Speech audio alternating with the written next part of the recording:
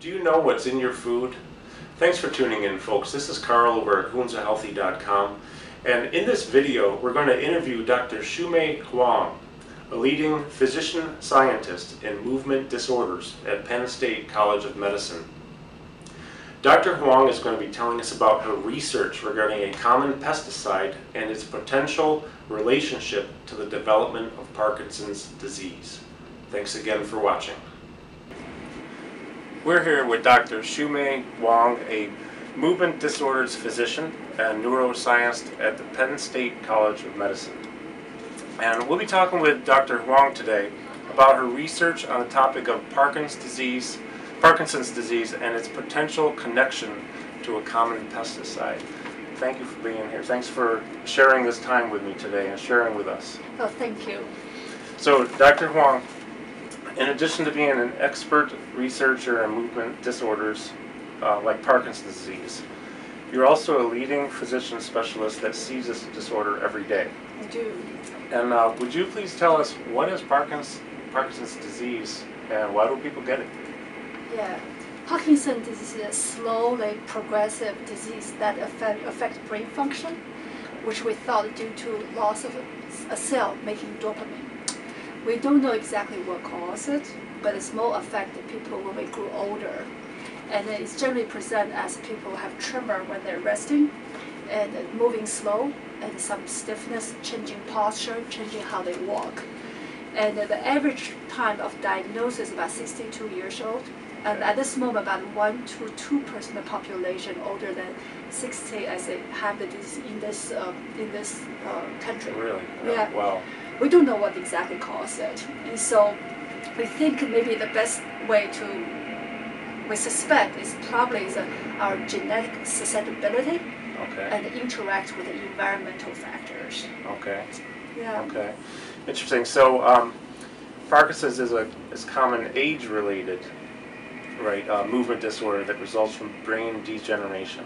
Right, the brain probably cell death, Yeah. Um, but are the environmental causes are a little unclear at this point? Would you say?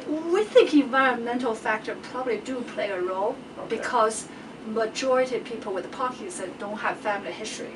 So Okay. namely, 70% Oh. of people have disease. You look track down their family history, nobody have disease. Interesting. In addition, if you're identical twins, we, we're born with the same genes, we frequently not see the twin, if one person has disease, the other one don't have it. Ah. So that okay. means uh, not our genetic makeup determine whether we have Parkinson's or not. So environmental factor or how we behave in our lifetime right, may right. play a role. So Right. that's why we're thinking maybe the environmental factor play a role. Okay. So your team recently published research suggesting that a common pesticide uh, might contribute to Parkinson's disease in some people. Uh, Would you care to tell us about what you found? We'd love to share that. Actually, it's very exciting. And um, as I mentioned, environmental factor have been suspected to relate to Parkinson's disease.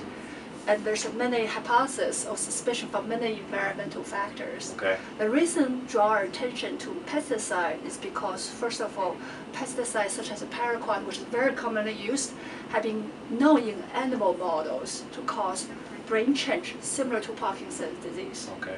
Second of all, in the population study, and then so the scientists in California, for example, show the population live in the area have a higher concentration of environmental pesticide exposure, such as Okay. paraquat. Mhm. They increase the risk of that population to have Parkinson's compared to another population live in a zip code have lower exposure.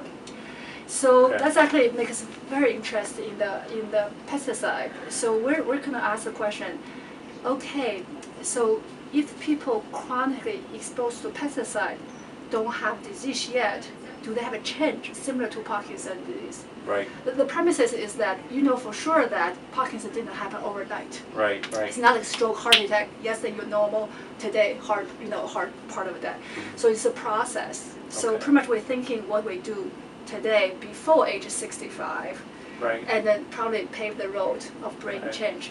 We also know that brain is actually very resilient. Mhm. So we actually can lo- lose a lot of dopamine cells without Okay. missing it. Right. We know right. for a fact that we can lose 50% of dopamine cells without present with Really? Parkinson's Okay. disease. And Okay. then, so we actually, our, our team asked the question, if we have a chronic exposure to pesticide, Mhm. what happened to those dopamine cell at this location?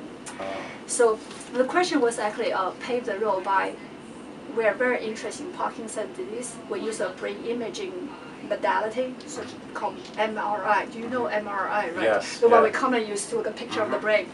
So we focus, use MRI to focus on brain region making dopamine cells. We found the Parkinson's uh, patient have changes compared people who don't have Parkinson's disease. ah, With that knowledge, we actually did bring MR of the people, about a dozen of farmers chronically exposed to the pesticide. And, uh, and so look at the brain region making dopamine cells. We found actually the, the farmers exposed to the uh, pesticide for a long time. okay. They look normal now, Right. but their brain actually have changes similar Right. to Parkinson's disease. So that's what we found.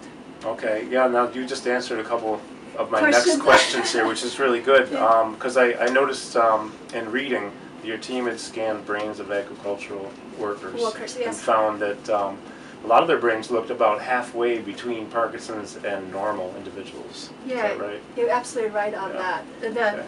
so that's very intriguing for our team because Sure. we asked the question, could that be this agricultural workers Mm-hmm. on the way to develop Parkinson? They're halfway, or the brain just have a vulnerability now because the pesticide maybe make their brain more vulnerable to have dopamine Right. cell loss in the future.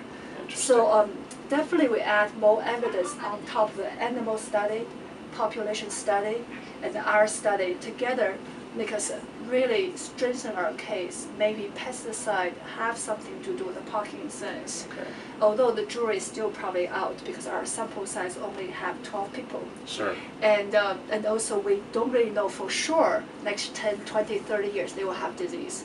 Right. So the future that entails probably need a bigger study and also long-term follow-up those people so we can Sure. make a conclusion. It's a long-term project, right? Exactly, Yeah. but we have started the, the hope for that, yeah. Well, that, that's uh, really interesting. That answers these questions. I, so let me ask you this, um, because this new evidence seems relatively, uh, or relevant to a wide audience, um, what, what would be your takeaway message to the people who are watching or listening here?